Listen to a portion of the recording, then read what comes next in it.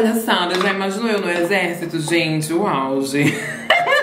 Oi, eu sou o Gabriel Jordan do arroba GadgetRD Como muitos de vocês sabem, esse ano em 2020 eu completei 18 anos de idade. Auge, né meninas, a maioridade, agora a gente pode fazer várias coisas. No meu caso nada, porque eu completei 18 anos justo no ano da pandemia, né meninas? Então estamos em casa sem fazer absolutamente nada. Mas uma das coisas que vem com a maioridade que não é tão legal assim Se você for um menino, assim como eu É que quando você completa 18 anos, você precisa passar pelo alistamento militar obrigatório do exército brasileiro. Auge, né, meninas? No vídeo de hoje eu vou contar pra vocês a minha experiência no alistamento militar obrigatório, como é que é. Muita gente tem dúvidas, eu também tinha muitas dúvidas, pesquisei sobre o assunto. Gente, meu alistamento foi uma parada assim completamente diferente, diferente mesmo. Eu acho que inclusive por causa das circunstâncias que a gente tá vivendo, né, gente? Por causa da pandemia, quarentena, teve que ser tudo mais rápido. E no vídeo de hoje, óbvio, né, que vou fazer uma makezinha enquanto eu conto tudo isso pra vocês. Vou fazer assim uma maquiagem de exército, né, meninas, a louca. Então, se vocês já quiserem me acompanhar, né, nesse vídeo de hoje, vou fazer uma make e vou contar pra vocês como é que foi o meu alistamento militar obrigatório. Já deixa o seu like aí embaixo. Se você for novo por aqui, seja bem-vindo. Já se inscreve aqui no canal e ativa o sininho de notificações pra não perder nenhum vídeo novo. E, claro, continue assistindo.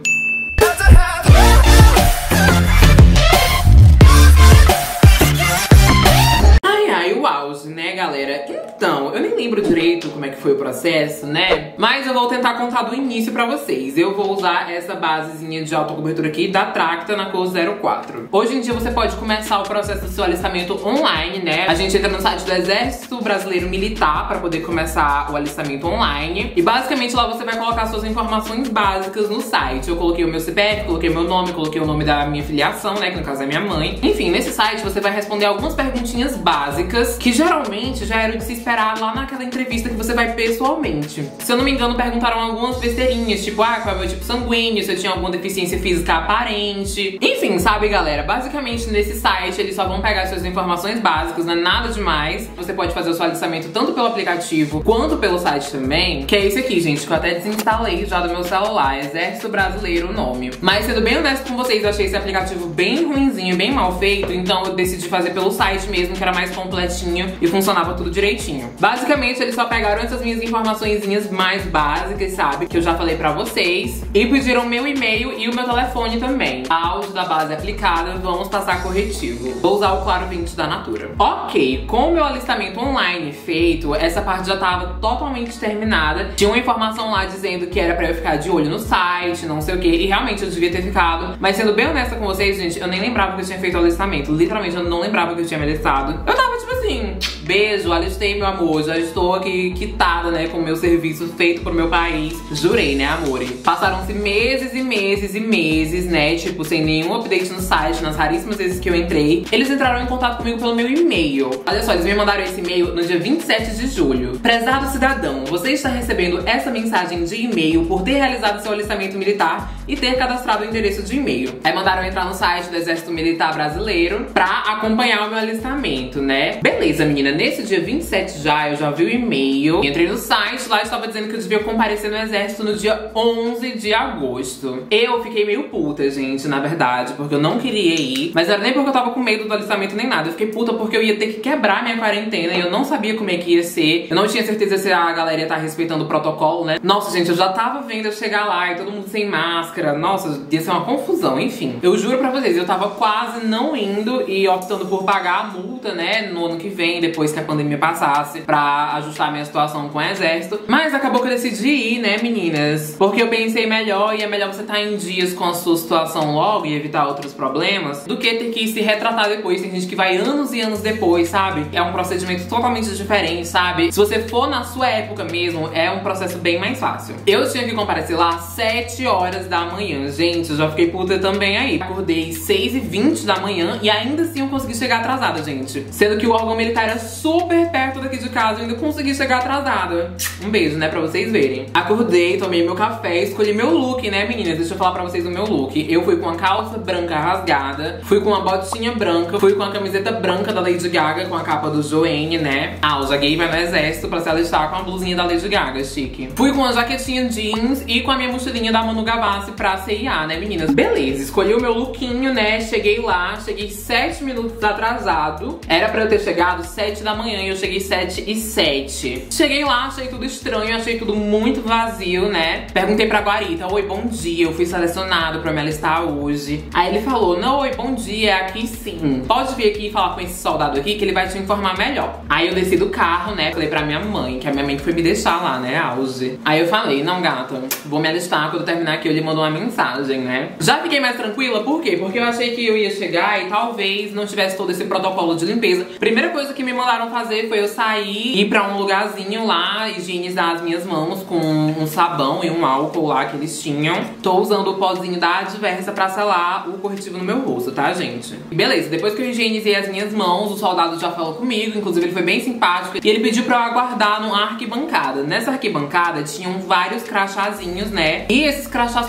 começavam do número 22. Foi aí que eu comecei a desconfiar. Gente, será que não tem ninguém aqui porque eu cheguei atrasada, né? Porque eu cheguei 7 minutos atrasado. E a resposta é sim, eu realmente tinha chegado atrasado e eu peguei o número de crachá 22. Tinha até os 50 lá, mais ou menos. Aí ele falou, só aguarda sentado aqui na arquibancada, que já já a gente aguarda mais gente chegar e aí a gente te leva pra o alistamento. Só que se passaram uns 15 minutos já eu nessa arquibancada, aí o outro soldado falou, eu acho que é melhor levar ele já pra se alistar, porque eu acho que ninguém mais vai chegar. Aí ele pediu pra um outro soldado assistente me acompanhar até lá dentro do batalhão de infantaria e selva, num espaço lá que tava tendo. Achei chiquérrimo, gente. Todas as cadeiras separadíssimas uma da outra, entendeu? Sem corona aqui. E vamos de distanciamento social, meus amores, que era o meu maior medo, né? Não ter o distanciamento social, mas eu achei organizadíssimo, achei chiquérrimo. Chegando lá, eu sentei numa cadeirinha, né? E tinha um soldado lá falando sobre a história do exército, falando sobre as diferentes forças que o exército tem. Enfim, gente, era um maior rolê lá. Era até interessante a história que ele tava contando durante uns 40 minutos. E aí depois eles explicaram como é que ia ser o sistema todo. Atrás da gente tinham duas bancas e do nosso lado tinha uma tenda. Primeiro ele ia chamar por ordem, né, pelos crachazinhos, ou seja, eu me lasquei porque eu cheguei 7 minutos atrasado, né? Eu ia ser o número 22. Por isso, gente, cheguem cedo. Cheguem umas meia hora antes, se vocês puderem. Aí o áudio, né? Essa primeira banca, eu até anotei aqui no meu celular como era o nome lá que eles chamavam, que eu já ia gravar o vídeo pra vocês, né, meu amor? Porque eu sou o quê? Geradora de conteúdo, produtora de conteúdo. O primeiro se chama Posto Controle de Serviço, que é o que a gente vai lá, a gente se apresenta, né? Eles perguntam o nome da gente, perguntam uma parada infernal chamada de RA. Gente, que coisa chata. Eu não tinha esse documento RA. Eles ficavam chamando o tempo todo esse documento de CAMP. Eu não sei se antigamente era chamado de CAMP e hoje em dia é de RA, mas esse RA basicamente é um código que você recebe lá no site do alistamento quando você se alista, né? Mas você pode imprimir pelo site, aí eu olhei pro lado assim, tava todos os outros meninos com RA impresso. Todos não, né? Mas quase todos. E aí, tipo, só mais eu e uns dois, assim, avoados, sem saber o que, que era RA, o que, que era camp. Aí eu chamei um soldado e perguntei, oi, eu não tenho esse documento, o que que ele é? Ele falou, não, o seu camp é o seu RA, que é aquele códigozinho quando você se alistou. Aí eu falei, eu não tenho impresso, posso mostrar no meu celular? Ele falou, pode, é a mesma coisa. Aí eu chique, né, meninas? Entrei no site do exército, coloquei minhas informações e peguei meu RA, tirei um print. Nossa, meu celular ia caindo. Tirei um print, né, e fiquei com ele aberto na tela do meu celular. Enfim, fiquei de molho esperando até que chamaram o 22. Fui lá, né, no posto controle de serviço, me apresentar. Aí eu falei, olha, esse aqui é meu RG e o meu RA tá aqui no meu celular. Aí ele falou, tá certo. Ele pegou meu celular, copiou o RA rapidinho. E aí começaram as perguntas. Tipo, era coisa básica, mais ou menos o que já tinha perguntado no site, sabe? Nome, filiação, se queria servir, o que que fazia da vida, né? Aí eu falei, né, eu sou produtor de vídeos e eu sou universitário, curso Publicidade e Propaganda. Eu sinto que eles mudam um pouco as perguntas de pessoa pra pessoa. Algumas eles perguntam só algumas coisas e já passa logo. E outras eles vão perguntando mais a fundo. Eu respondi poucas perguntas, mas tem gente que responde se já tomou bebida alcoólica, se já usou entorpecente, se ajuda com a renda em casa, enfim, não me perguntaram nada disso. Só me passaram pra segunda etapa. Beleza, fui pra uma outra filinha, que as filinhas eram em cadeiras, né? Como eu falei pra vocês, estava tendo distanciamento social o tempo inteiro. E aí você tinha que ir pra o posto de inspeção de saúde, que na verdade tem dois nomes. O EPIS, que é posto de inspeção de saúde, ou então é PEF, que é posto de exame físico, que eu anotei no meu celular. Bom, lá tava acontecendo o seguinte, você tava indo na mesma ordem que você foi chamado, né, pelo crachazinho, você tem que ficar com ele o tempo todo no seu bolso, e você tem que aguardar. Chegando lá no PIS, no posto de inspeção de saúde, a gente tinha que tirar o sapato, menino. Auge que eu não tirei na hora que eu cheguei no PIS, porque eu fiquei com um pouco de nojo, né, gente? Porque tirar meu sapato fora de casa, eu, hein? Mas logo antes de entrar na salinha, eu tirei. Lembra que eu falei que eu tinha levado a mochila? Eu tinha levado uma cópia de um exame meu do meu joelho, né? Um raio-x e um diagnóstico, dizendo que eu tinha um problema, porque pra quem não sabe, na verdade acho que ninguém sabe, eu nunca falei isso aqui na internet, mas enfim. Quando eu era criança, eu tive um problema no meu menisco, que literalmente, gente, eu lesionei tanto ele a ponto de eu precisar fazer uma cirurgia e tirar. Pra quem não sabe, o menisco, ele é uma parte do seu joelho, e eu não tenho um dos meus dois meniscos do joelho esquerdo. Aí eu levei isso na mochila, só caso eles perguntassem, né, tipo, e quisessem uma comprovação. Porque vai que, né, gente, você pode inventar qualquer coisa pra galera do exército, ai, eu sei lá, eu tenho tal doença. Mas eu acho que eles vão querer uma prova a mais, né? Aí eu já levei porque eu sou o quê? Precavida. Enfim, né, fiquei esperando lá no PIS até a hora do exame. Gente, nessa hora tinha uma galera assim nervosa, entendeu? Tinha uns que queriam servir, outros que não queriam servir de jeito nenhum. Tinha um menino que eu acho que ele foi de drag de, de soldado, gente, de tanto que ele queria servir. Acho que ele foi de cosplay. Ele foi de bota, foi de calça militar, foi com a camiseta do exército. Nossa, pois o menino saiu do posto de saúde chorando porque ele foi dispensado, gente. Ele queria muito servir, vocês não tem noção. Ai, gente, deu até pena do menino, porque ele queria tanto servir, né? Mas ele foi dispensado. Não sei se ele tinha algum problema de saúde, também não perguntei, também não conheço, né, gente? O auge. Aí tinha eu que, obviamente, não queria servir, também nem podia, né? Eu tava só esperando ser dispensado mesmo, por isso que eu tava tão tranquilo. Porque, gente, o exército não ia me pegar pra nada, sabe? Eu com problema no joelho, eu ia ser uma despesa pra eles lá, isso sim. Fui chamada, né? Chegou a minha vez lá no posto de saúde, eu já estava descalça. Tinha que deixar o tênis e a meia do lado de fora. Gente, eu tava com a unha do pé vermelha. A da minha mão tava feitinha, né? Porque eu sempre tô fazendo na mão. Aí eu tava só com um glitterzinho bem básico na meu unhão, né? Belíssima. Mas a minha unha do pé tava tão feia, minha filha. Tava um esmalte vermelho descascadíssimo. Que se eu soubesse que eu ia ter que tirar o tênis, eu teria feito a minha unha. Porque tava horrorosa, né, gente? O auge. Mas enfim, cheguei lá na porta, já entrando toda belíssima. Aí uma médica falou: Não, pera aí, qual é o seu RA? Aí de novo a fuleiragem desse RA, gente. Peguei meu celular e falei: Olha, meu RA tá no meu celular. Aí ela, beleza, ela anotou, ela pediu meu RG. Lá dentro eu não gostei muito porque tinha muita gente dentro do, do posto de saúde, né? O posto de exame físico. Eu já achei um pouco aglomeração demais. Eu pensei que ia ser no máximo só eu e mais um médico. Mas tinham mais três médicas e dois médicos lá dentro. Ou seja, tinham cinco pessoas mais eu. Uma dessas três da bancada pediu meu documento e tal, tudo certinho. Aí eu já fui direto pro médico lá do fundo. Ele falou: olha, entra aqui atrás, né? Tinha um cômodozinho, tinha tipo uma tela, sabe? Aí ele falou: olha, preciso que você tire a sua roupa. Aí geralmente, né, no exército sempre tem aquele negócio de tirar a roupa inteira, né? Tipo, tirar a calça, a cueca, tipo, colocar a mão na boca, tossir. Aí eu já fiquei pensando, né, gente? Uau, será que é agora que eu vou ter que ficar pelada? Enfim. Mas não era. Aí ele falou: tira só a jaqueta e a camiseta, tá? Fica só sem camisa, pode ficar de calça. Tirei numa boa, entendeu? Gente, assim, cada um é cada um. Tem gente que fica muito nervoso nessa hora de tirar a roupa porque fica com vergonha e tal, sei lá. Gente, sendo bem honesto com vocês, ninguém vai lembrar de você. Ninguém que tá trabalhando ali vai lembrar de você depois, entendeu? Todo mundo que tá ali já viu, acho que um milhão de outros caras que foram se alistar e vão ver mais um milhão de outros caras sem roupa também que vão se alistar depois. Então, sabe? Não fica com isso na cabeça, porque ninguém vai estar tá se preocupando com como você é debaixo das suas roupas, tá? Aí, gente, eu tirei a roupa praticamente pra nada. Porque na hora que eu tirei a roupa, ele me perguntou: você tem algum problema de saúde? Aí eu falei, eu não tenho um dos meniscos do lado esquerdo. Aí ele ficou olhando assim pra mim, né? Eu falei, eu fiz uma cirurgia quando eu tinha 12 anos pra tirar um dos meniscos que eu lesionei. Tô com todos os meus exames e documentos aqui na bolsa. Vocês querem ver? Aí ele falou, não, não vai ser necessário. Você tá dispensado. Aí eu falei, ai, meninas, auge. Eu estava felizíssima que eu tinha sido dispensada. Eles vão te encaminhar pra dois postos, né? São duas possibilidades. Ou você volta para o posto de controle de serviço, se você estiver apto pra poder servir. Ou se você estiver inapto, que nem eu, você vai para o posto de controle de dispensados. Pelo menos eu fui, né? Aí eu fui lá, tinha uma senhorinha super simpática também. Aí ela pediu seu RA. Nessa hora eu já cheguei com o RA na mão, né, querida? Que eu tava feliz, já sabia que tinha que entrar com esse raio desse RA o tempo todo, gente. Que se eu soubesse eu tinha levado impresso, né? Mas tudo bem que deu tudo certo, né? Eu podia mostrar no celular. Mas enfim, passou um tempinho, ela imprimiu um boleto pra mim, né, meninas? Com a minha taxa de dispensa. Usei o blush rosa 69 da Natura e agora eu estou usando a Bruma iluminadora da Face Beautiful Professional. Limpei aqui as minhas sobrancelhas fora da câmera rapidinho só pra agilizar e eu vou usar esse iluminador aqui da coleção Stardust da Playboy. Enfim, né, meninas? Esse boletim que ela imprimiu pra mim, todo mundo que é dispensado tem que pagar, eu já sabia disso. Mas é uma parada super baratinha, gente. Se eu não me engano, é R$4,60. Daí, no mesmo dia eu tinha que ir na junta militar, né? Que eles me instruíram. Lá no exército eles falaram que eu tinha até meio-dia, no máximo, pra ir até a junta militar, levar o recibo e iniciar o processo de retirada da minha certidão de reservista, né? Aí eu fui no banco, paguei, peguei o recibo, depois eu fui na junta militar. Chegando lá na junta militar, só podia entrar duas pessoas por vez dentro da sala por causa da pandemia, né? Tinha uma fita barrando a entrada, tinha álcool em gel na frente. Todo mundo que entrava e que saía tinha que passar na mão. Achei chique, gosto de coisa organizada. Cheguei na junta militar, né? Falei com a mulher do balcão. Eu acho que essa mulher não era bem certa da cabeça, né, gente? Mas enfim. Cheguei lá e falei, oi, bom dia.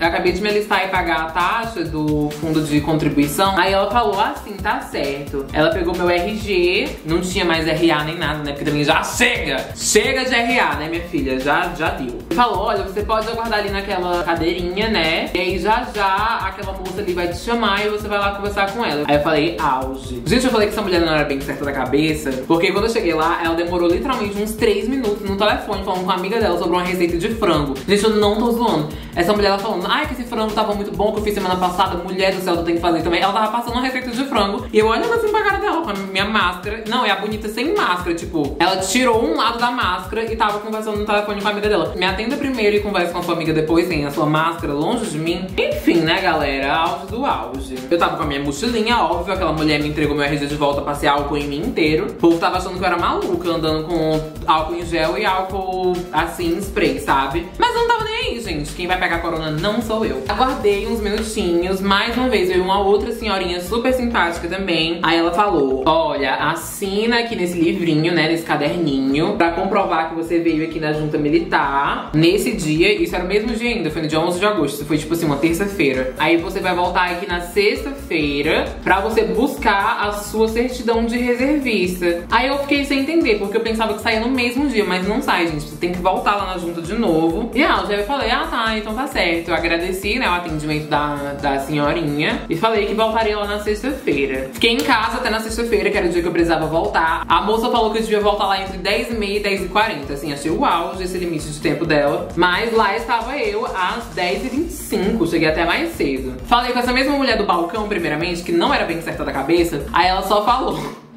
E, gente, sinceramente, aquela mulher ela não é normal, tenho certeza. Aí ela só falou, ah tá, senta ali e espera que ela vai te chamar. Ela falou a mesma coisa da última vez. Aí eu fiquei sem entender. Na hora que eu cheguei, tinha só mais eu e mais um outro cara. Só que eu fiquei esperando, esperando, esperando. E já tava, tipo, uns seis caras lá na fila. E não tava andando de jeito nenhum. Até que do nada, um menino super aleatório chega. Ele não falou com a mulher do balcão, ele foi direto com a outra senhorinha, pegou a reservista dele e vazou. Eu fiquei pensando, será que é só chegar e ir embora e essa mulher tá falando a informação errada pra todo mundo aqui? Eu só me levantei, fui lá na senhorinha e falei, oi moço, bom dia. Eu vim aqui buscar minha reservista e tal. E ela falou, ai não, mas você tem que esperar alguns dias depois de você ter pagado a taxa e tal. Ela achava que tinha chegado lá no mesmo dia. Eu falei, não, mas eu já paguei terça-feira. Aí ela falou, ah, então a sua já deve estar pronta. Eu vou olhar aqui no sistema, só um segundo. Gente, não foi cinco minutos, a senhorinha voltou, entendeu? Com a minha tão sonhada reservista. E aí foi só eu sair que todos os outros caras começaram a se levantarem lá também e sair com a reservista deles. Gente, eu achei assim, uau, de que todo mundo ali podia não estar aglomerando e a outra mulher lá do balcão deu a informação errada. A troco de que eu não sei, né? Mas enfim. Ela pediu pra eu conferir as minhas informações, CPF, filiação, nome, se a minha situação tava certa, a minha tava. Eu vou já já mostrar pra vocês, inclusive. Mas antes de eu mostrar pra vocês, eu posso utilizar logo essa maquiagem aqui, porque esses maquia e fala, gente, eu nunca sei dosar direito, né? Eu falo, falo, falo, falo demais e maquio de menos. Aí a maquiagem sempre tá pela metade quando eu terminar a história. Então, vou terminar a maquiagem rapidão e já volto aqui pra terminar de contar a história pra vocês. Bom, galera, aqui está a minha maquiagem finalizada, né, que eu agilizei porque